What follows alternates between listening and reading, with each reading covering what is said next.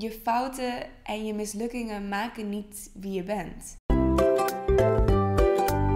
Hey guys! Het is 2016 en daar moet ik altijd eventjes aan wennen. Want ik denk altijd nog dat het 2015 is. En waarschijnlijk zal ik het op brieven en op dingen die ik moet ondertekenen nog heel lang fout schrijven. En zal ik nog steeds 2015 opschrijven. Maar het is 2016. Er is niks meer aan te veranderen. Heel veel mensen hebben goede voornemens in het nieuwe jaar. Ik noem eigenlijk mijn goede voornemens nooit echt goede voornemens. Maar eigenlijk zijn het wel goede voornemens. Al is het wel een klein beetje anders. Het zijn niet per se dingen waarvan ik zeg van dat ga ik niet meer doen. Of dat ga ik wel doen. Het zijn meer dat ik een soort van doelen heb waar ik naartoe wil werken. En als het een keertje niet lukt, no problem, weet je wel. Als ik aan het eind van het jaar maar kan zeggen van... hé, hey, dit doel heb ik bereikt, dit is gelukt. Het leek me heel leuk om vandaag met jullie mijn doelen voor 2016 te bespreken. Vroeger dan maakte ik er altijd echt een stuk of 15 en dat is natuurlijk veel te veel, want je kan je nooit op 15 dingen tegelijk richten in één jaar. En ik ben benieuwd of het gaat werken. Ik heb ook iets heel erg leuks wat ik op mijn kast ga hangen in mijn slaapkamer. Dit is een soort van goal planner die ik heb uitgeprint. Ik zal een linkje in de beschrijving plaatsen waar je hem kan downloaden, want die kan je gewoon gratis downloaden en zelf ook uitprinten. En hier kan je dus je prioriteiten en je goals opschrijven en wat je ervoor nodig hebt om dat te bereiken. En het leek me heel leuk om dit vandaag in de video met jullie samen in te vullen. Mijn allereerste goal is per week een werkvrije dag inplannen. Normaal als je werkt voor een baas of als je op school zit,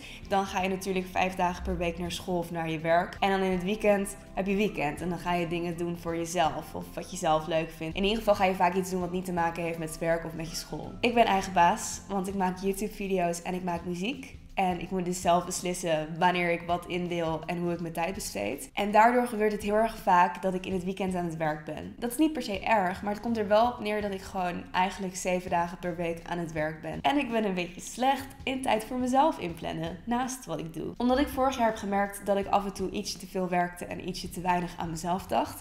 En ik daardoor heel vermoeid en af en toe een beetje ziek en verdrietig raakte. Dacht ik, ik wil voor 2016 het doel hebben om elke week een werkvrije dag te plannen. En het liefst wil ik dat op een specifieke dag in de week. Maar ik weet dat mijn schema altijd heel erg wisselt. Dus ik denk dat ik het zo wil doen dat ik gewoon één dag van de week niks doe wat met mijn werk te maken heeft. En dan maakt het niet per se uit welke dag dat is, als het maar gewoon één dag in de week is. Ik heb namelijk nog wel een paar hobby's waar ik eigenlijk nooit aan toe kom, omdat ik altijd denk dat ik het veel te druk heb met mijn werk. Ik vind schilderen bijvoorbeeld heel erg leuk. Ik vind schrijven heel erg leuk. Ik schrijf natuurlijk voor mijn blog, maar ik vind het ook heel erg leuk om fictie te schrijven. Dus zeg maar gewoon verhalen te verzinnen. Ik heb een bad thuis en duizend badspullen, maar ik ga nooit in bad. Dus dat is goal 1, een werkvrije dag. Op dit papiertje moet je dus invullen wat is je goal. En dan moet je dus ook in gaan vullen wat is er nodig om dat te bereiken. En er staat een deadline bij, maar bij niet per se een deadline. Wat heb ik nodig om dit goal te bereiken?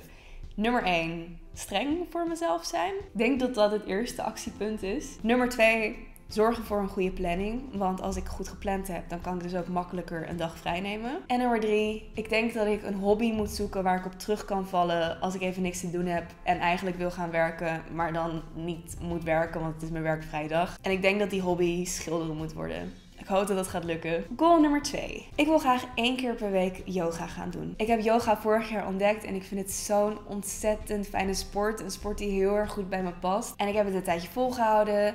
Maar toen verwaterde het toch weer en was mijn lidmaatschap weer afgelopen. En dan gaat het regenen buiten en dan wil je niet meer op de fiets. Eigenlijk is het gewoon onzin waarom ik niet meer ben gegaan. Maar op een gegeven moment ging ik gewoon niet meer. Nou is het zo met yoga dat je het heel erg makkelijk ook thuis kan doen. Dus eigenlijk wil ik gewoon één keer per week yoga doen. Of het nou thuis is of bij een yogaschool, dat maakt niet uit. Als ik maar één keer per week een uur lang met yoga bezig ben. Ik ben namelijk niet zo heel erg van sport. Ik haat eigenlijk sport, fitness, bewegen, alles wat erbij hoort. Dus ik heb al heel vaak gedacht van, oh, ik moet meer sporten, ik moet naar de sportschool. Maar ja, dat gaat er toch nooit van komen, dat weet ik. Ik ken mezelf. Yoga is heel rustig, maar alsnog wel inspannend. Dus als dat gaat lukken, dan moet het lukken.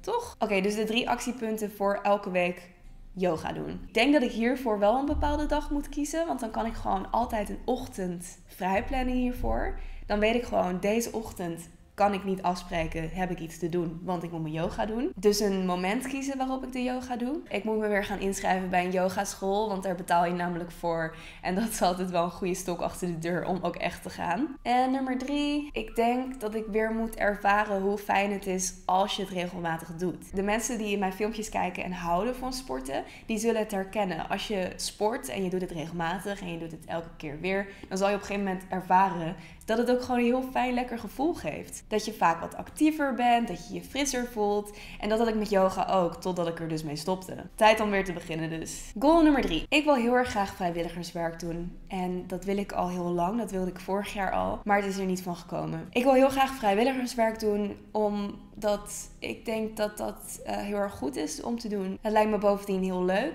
om iets te doen vanuit mijn hart en niet per se omdat ik er geld, promotie of wat dan ook voor terugkrijg. Ik denk dat het heel erg goed is om daardoor weer nieuwe mensen te leren kennen. En hoe mooi is het om iets voor een ander te doen zonder dat je er zelf van profiteert, behalve dat je er natuurlijk een fijn gevoel van krijgt. De actiepunten.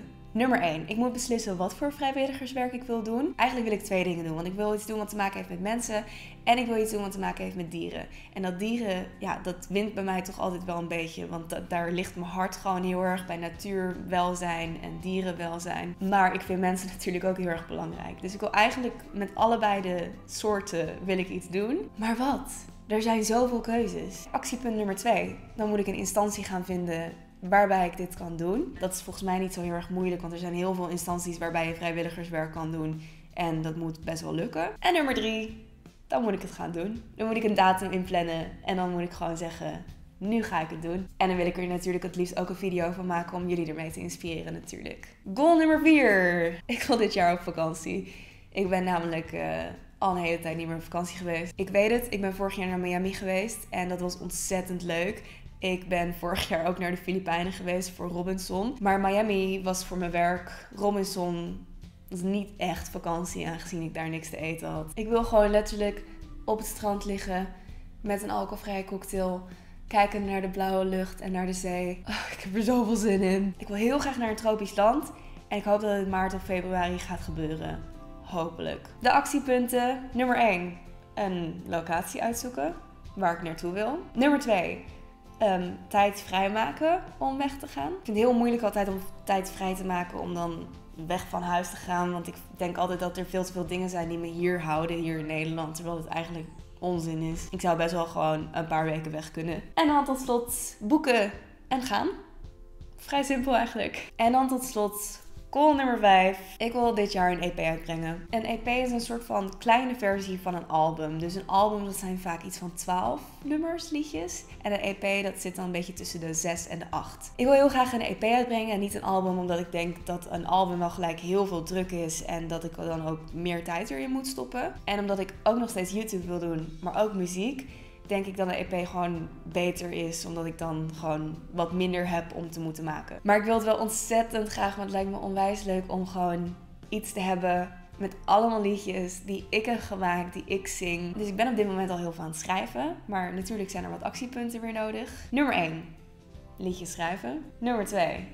Liedjes opnemen. Nummer 3 bedenken hoe ik de EP wil noemen en hoe ik het wil uitbrengen en eigenlijk alles daaromheen. That's it. En dat zijn de goals. Ik hoop dat jullie het een beetje goede goals vinden voor 2016. Ik hoop natuurlijk dat het gaat lukken. En ik zou het super leuk vinden om in de comments jullie goals voor het komende jaar te zien. En nog leuker als je die printable die ik heb gebruikt ook uitprint zelf. En dan invult en naar me stuurt via Twitter of Instagram. Dan kan ik gewoon helemaal zien van wat jouw goals zijn uitgeschreven en wat voor actiepunten je daarvoor nodig hebt. En dan kunnen we elkaar denk ik op die manier heel goed samen inspireren. Vond dit nog wel heel erg leuk.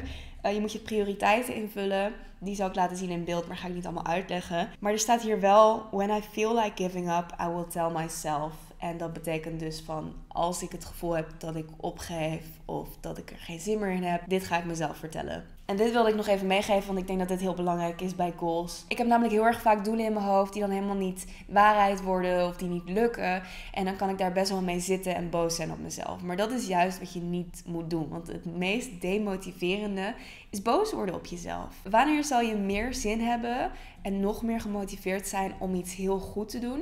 Wanneer iemand boos op je wordt omdat je het niet goed hebt gedaan? Of wanneer iemand je een complimentje geeft omdat je het nu al zo goed hebt gedaan? Natuurlijk dit tweede, want iedereen houdt meer van complimentjes dan van dat iemand boos op hem wordt. En zo werkt het bij jezelf ook. Positiviteit boven negativiteit, jongens. Het is zo belangrijk om positief te belonen als je iets goed hebt gedaan, in plaats van negatief te straffen als je iets fout hebt gedaan. Dus dit is wat ik mezelf ga vertellen als ik denk van het gaat even niet meer goed. Ten eerste, het feit dat je het hebt geprobeerd is al veel meer waard dan wanneer je het niet probeert. Want alle dromen die werkelijkheid worden, die beginnen uiteindelijk aller, op het allerbegin bij een probeersel. En ten tweede, je fouten en je mislukkingen maken niet wie je bent. Hetgeen wat je maakt wie je bent, is hoe je met die fouten en mislukkingen omgaat. En hoe je jezelf weer oppakt als je verder wil. Je kan wel blijven kijken naar wat je verkeerd doet en wat er allemaal niet lukt in je leven. Maar je kan ook kijken naar wat er wel goed gaat en wat je in je hebt om het beter te maken. Toch? Of zeg ik nu iets heel raars? Oké, dit was mijn Oprah Winfrey momentje. Dankjewel. Ik hoop dat jullie deze video inspirerend en leuk vonden. Nogmaals, laat me weten in de comments wat jouw goals voor dit jaar zijn. En dan zie ik jullie morgen weer. Hartjes! Doei doei!